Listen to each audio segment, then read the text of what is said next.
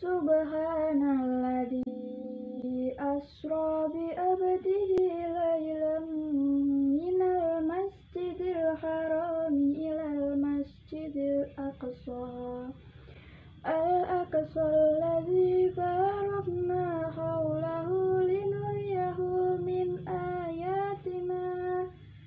إنه هو السميع البصير